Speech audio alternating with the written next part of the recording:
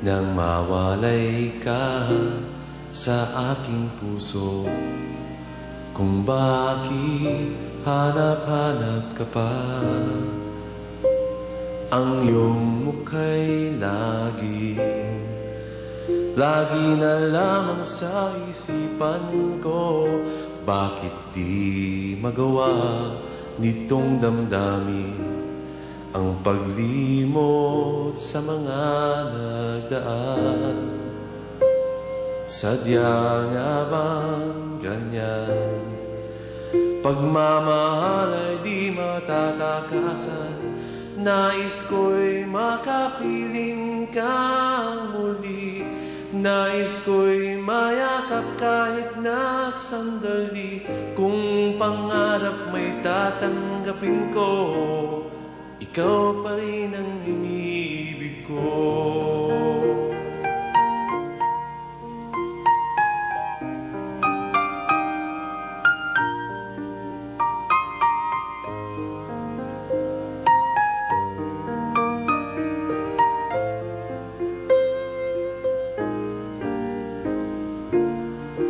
Bakit di magawa Ang paglimot sa mga nagdaan. Sadya nga bang ganyan? Pagmamahal ay di matatakasan. Nais ko'y makapiling kang muli. Nais ko'y mayakap kahit na sandali. Kung pangarap mo'y tatanggapin ko Ikaw pa rin ang iniibig ko.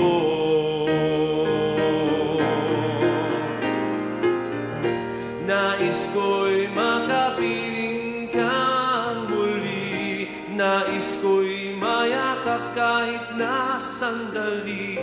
Kung pangarap may tatanggapin ko Ikaw pa rin ang iniibig ko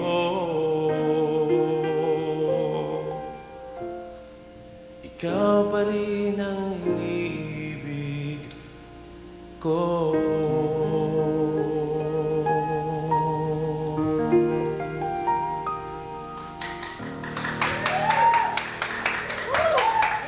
Napaka-popular nitong awiting ito. Nilikha ni um, isa po yatang Japanese melody at nila, nilapatan ng letrang Tagalog-Pilipino ni Benny Saturno at ginawang naging popular uh, isinaplaka po ni Ted Ito. Wag ko kayo alis kasama namin si Rico Puno, si Lorna Pal, isa pong Valentine's Day show. Nais ko'y makapiling ka muli Nais ko'y mayakap kahit na sandali Kung pangarap may tatanggapin ko Ikaw pa rin ang hinip What is the difference between a uh, an unschooled musician and a schooled uh, musician? a friend of ours, Kito Kolaiko, who's a schooled uh, musician, she graduated from Berkeley, uh, has commented before that uh, unschooled composers have, have a more uh, spontaneous way of creating music. They don't have, uh, they have much more confidence in creating um, compared to their colleagues who are in school, who, who studied in school, because they're less self-conscious about um, uh, styles, uh, rules, and uh, forms in music. Alam niyo, sabi nga niya na ako naniniwala din na kapag ka uh, unschooled ka, mas natural yung dating ng music. Dahil uh, libre ka, yun lang alam mo, dumarating talaga yung, yung musikang yon. Samantalang, a lot, of, a lot can be said about people who go to school and take up music too. First, they can read and play any written material, which is very important.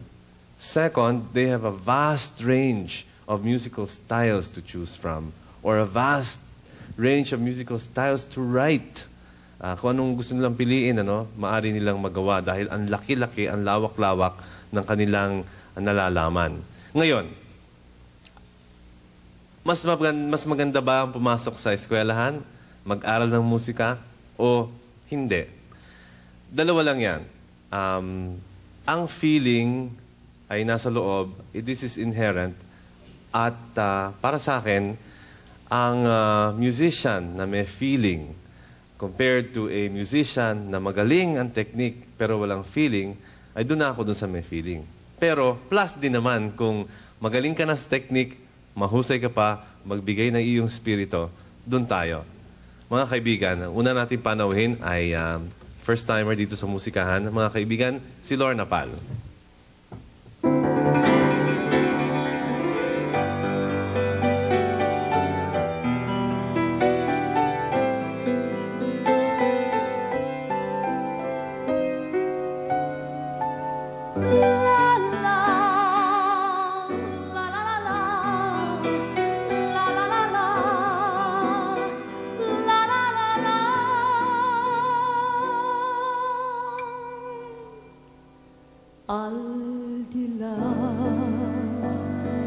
ben è più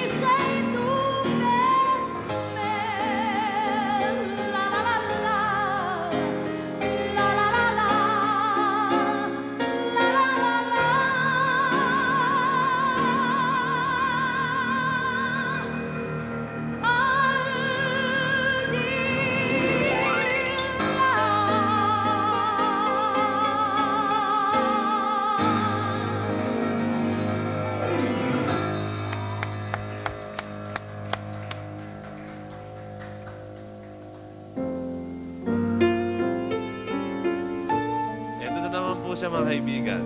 Paborito ng musikahan. Rico J. Puno. As I approach the prime of my life, I guess I find the time of my life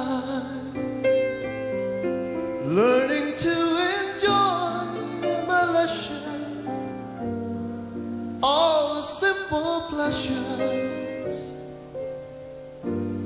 And so I happily concede.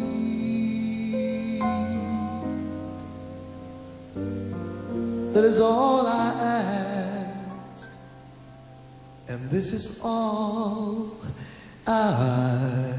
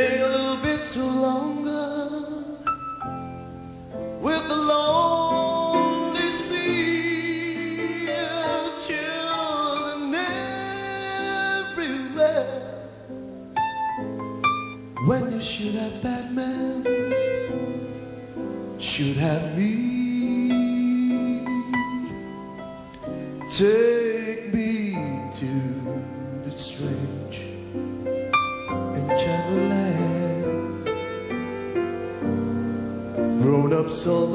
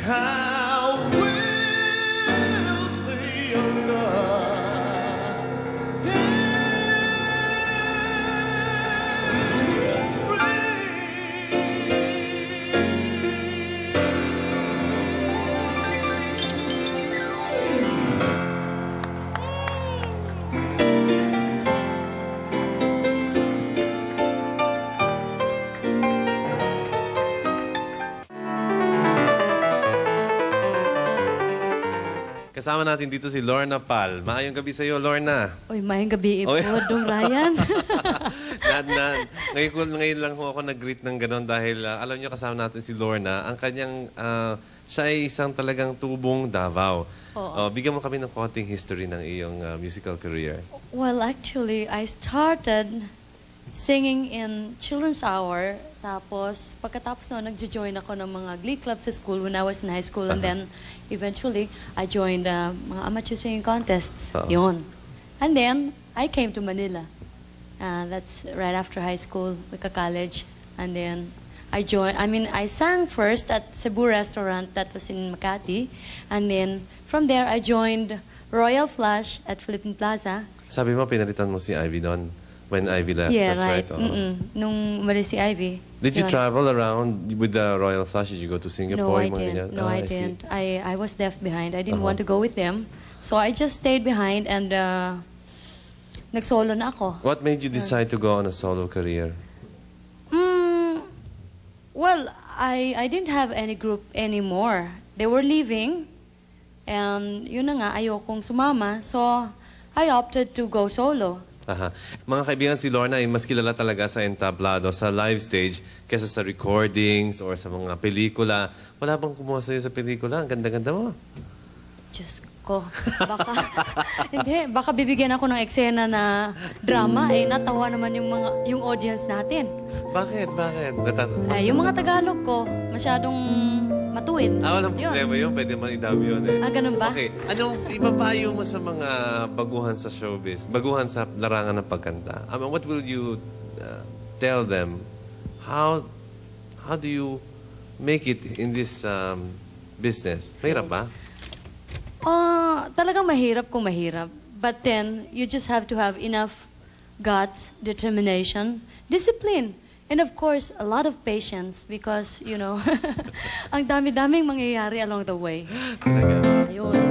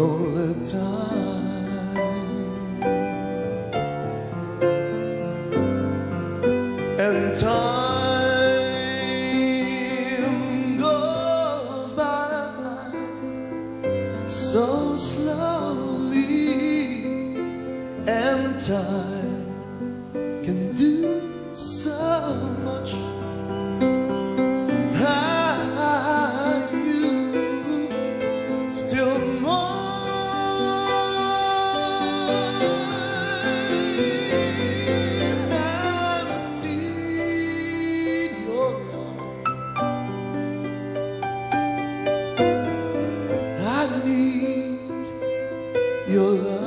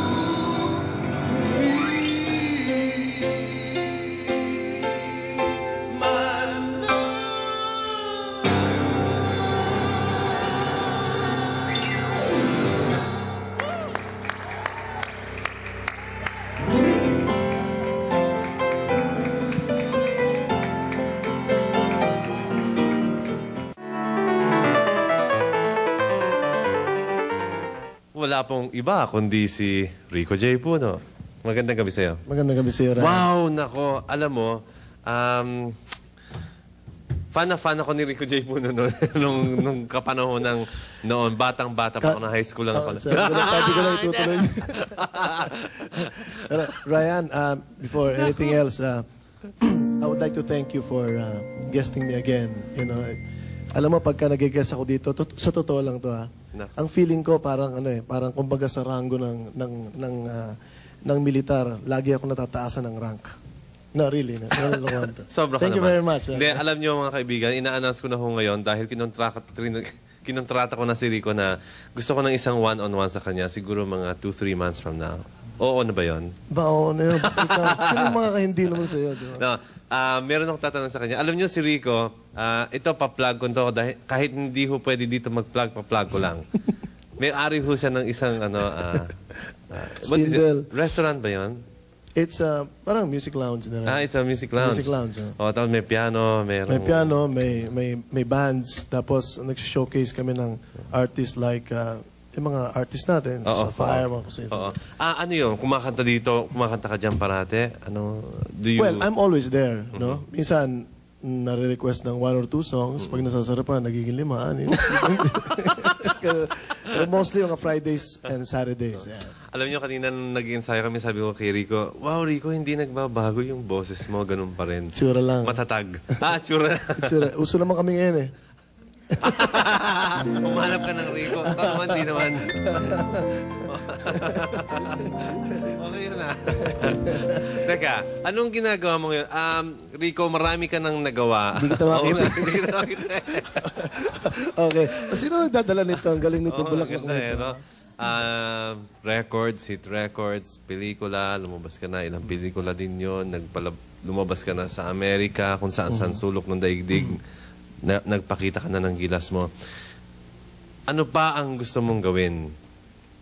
Alam mo kasi pagka mahal mo yung business mo eh, talagang inaantay mo na lang kung ano mangyayari. Because you love the business. I love to sing.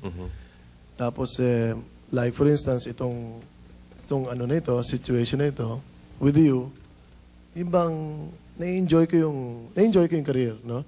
And then, I have so many plans, pero alam mo, ah, pag nagsasab- nagsasabi ako ng plans, minsan nagkakatotoo, kaya Ayoko muna sabihin.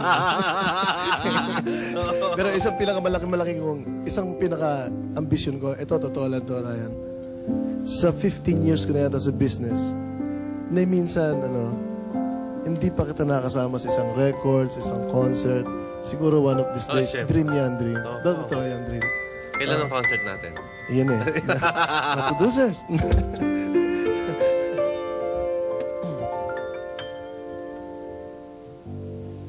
oh. Binigyan na kitang pasakali, hindi ka pumasok eh. Ah, kakanta na ba ako? Ah, teka. Eh, Akala sabi ko pa naman, wow, ang ganda-ganda ng kanyang ano, yung dream ko, makasama kasi sa Oo. concert. Alam mo, parang may nagdano. Ah, oh, Hindi gan. pumasok eh. Di ba, ito muna, ah, itong song na to, buti pa, ang sumulat ito si Mr. Canseco, si Yung. Tagalog lyrics nito, no? Oo, Tagalog lyrics nito.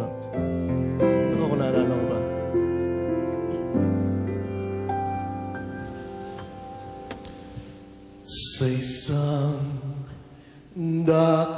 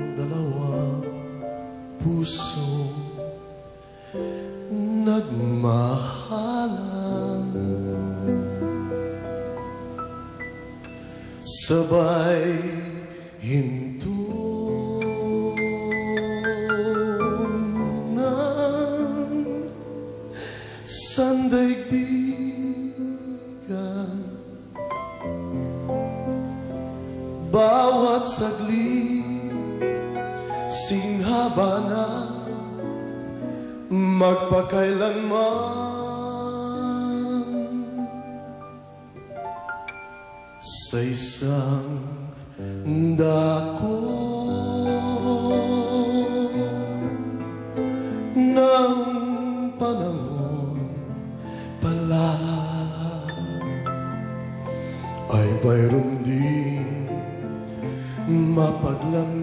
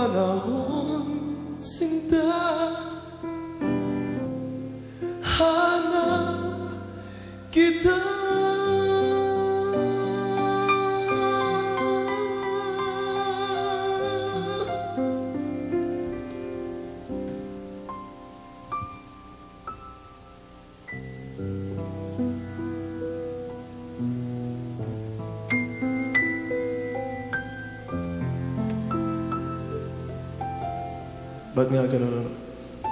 Hinahanap-hanap mo lagi. Pag nawawala.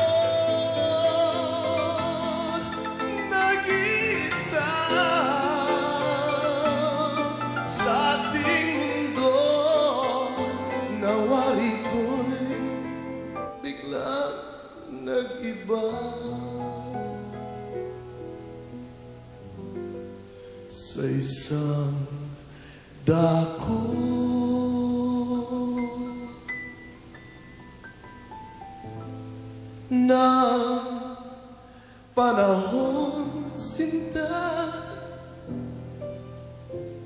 hanap kita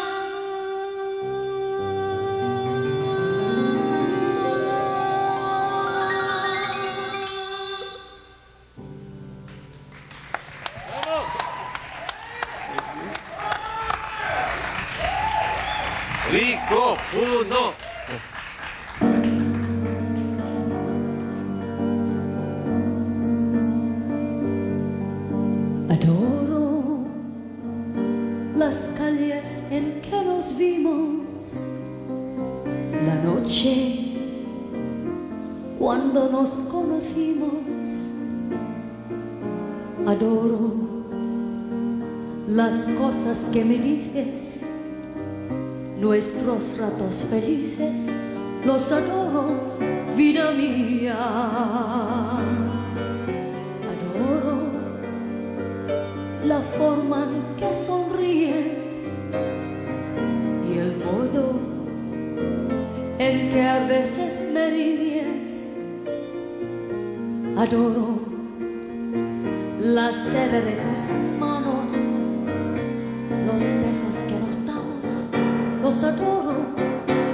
mia.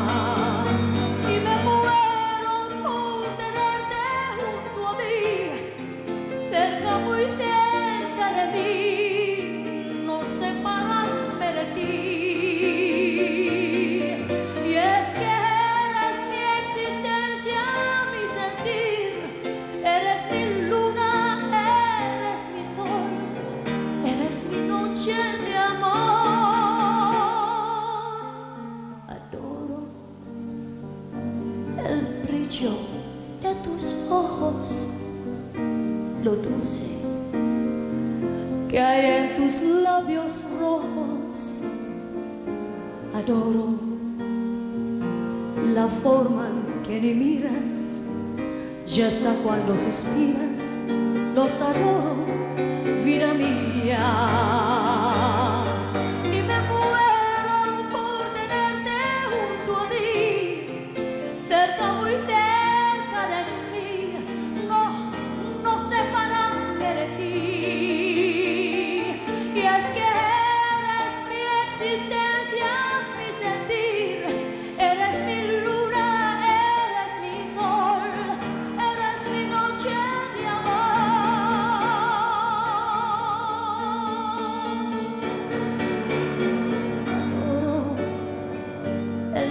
De tus ojos, lo dulce que hay en tus labios rojos.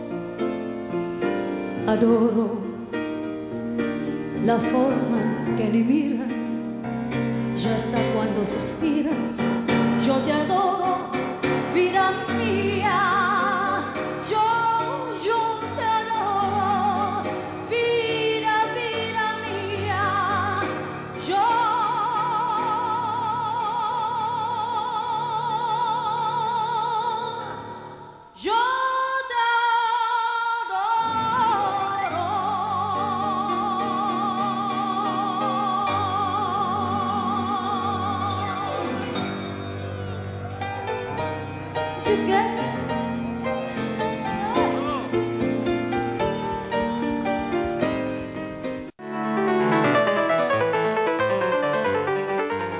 Kaibigan, kasama natin si Rico at si Lorna. Rico, happy birthday ah. Eh, thank you, thank Yeah, you. happy birthday nga pala, Rico. Ah, eh, puro Valentine's card na naman ang matatanggap ko. Ilan taon ka na? Hindi, wala sagutin sa Sometimes. ayaw mo. Sometimes. si Lorna at si Rico, alam nyo, meron silang ikikwento siya ng konti, bahagya lang. Nagsama ho sila sa isang ah, palabas sa isang abroad. Ah, nila, yung pinakasikat na Tama place yun. ngayon. Oh. Sa Kuwait, no? Oo. That was 1988. 88, that's right. 88. Ang pakiramdam nyo ngayon na gano'n na nangyayari doon tapos nag-perform kayo? Palagay ko, ano, eh. Pero marami nag-suffer doon kasi maraming Pinoy talaga doon, di ba? Talaga. Ang marami. show namin doon, ano eh, two afternoons and two evenings, no? Mhm. Four. Ganon, ganon kadami. Oo. Ang daming taong nanood. Madaming Marami, tao puno pa rin. Tapos, um, pagka ah, titingin ka sa babae, magagalit sila. Ganun ang mga Kuwaiti. Parang dito sa atin, ganun. Ano, ano? Parang dito sa atin? Conservative. Hindi ka masyadong titingin. Eh, hindi masyadong conservative tayo. Sila. Hindi, sa Kaya nga- babae pwede tayong tumingin. Sa lalaki, magmatagal. Ano pa, ano pa ang kwento Day. nyo? ah, ito si Lorna. Oh. Ay, ano? Lagi kami nalilate sa aeroplano kasi Bakit? Ako na naman five nakita. minutes before boarding, nag, namimili pa. Ah, syempre. Ah, Yung mga iba, babae Mga babae talaga, iba. Ay, alam mo naman pagka babae, di ba? Binibigyan niya ng panahon. Ah, Ayun, kasi marami mga bus, buchiching na pinaghahanap o kung ano-ano pa. Yun. Tsaka ano, nung, nung yung mga, yung mga Kuwaiti, inahabol si Lorna. Ah, syempre. Iba, oh. Kahit na Pilipino, habulin si Lorna. Naku ha. Pero si Rico talaga hinabol yan. Mga Kuwaiti Oo. rin. Hinabol Sa na stage. Kuwaitis. Sa stage. Puro Kuwaitis sumapot siya. Boom. ah, hinabol siya sa stage. Ah, Oo. may, sino ba kasama? May kasama ka bang boyfriend? Wala, wala kang boyfriend kasama na. Naku no, Rico. Hindi ako nagsasama ng mga ganon. Ganun. Oo. Teka, baka maging drama to, ano? Ah, musical ho ito. Teka mo na. Awit na tayo. Breaking up. Mahirap makipag-break, di ba? Ewan ko. Ba't wala ka ba asawa? Ah, wala. wala. Sige nga. If you really love her, and there's nothing I can do.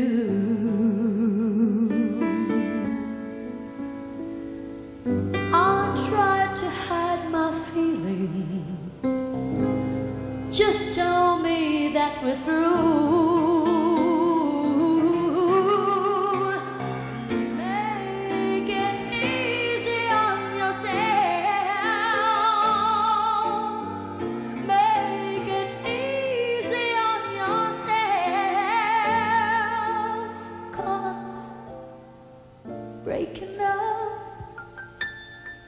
So very hard to do.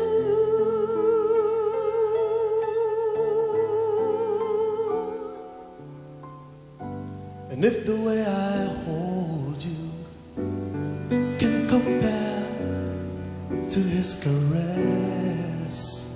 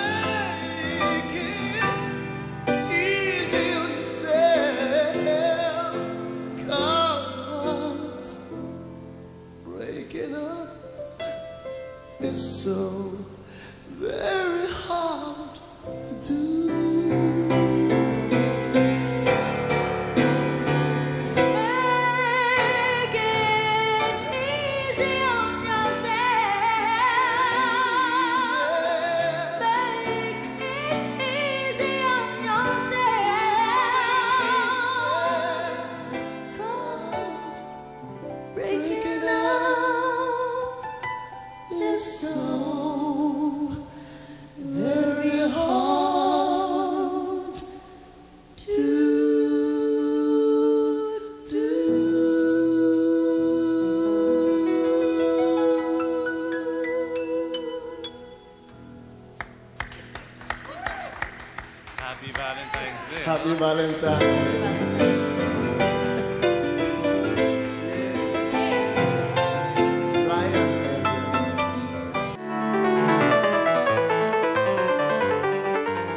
Naibigyan niyo po sana yung aming munting Valentine's Day show.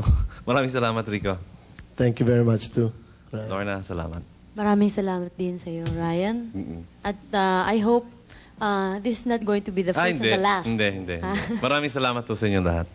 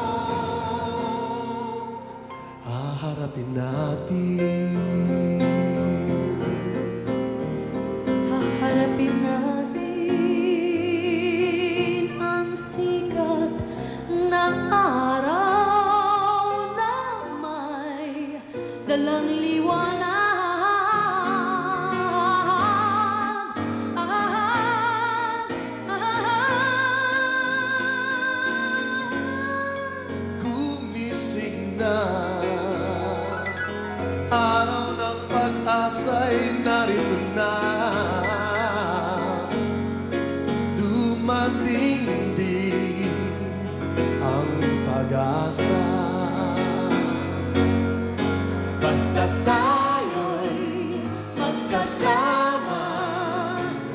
Laging mayroong umaga Kay ganda Pagsikat ang araw May dalang liwanag. Sa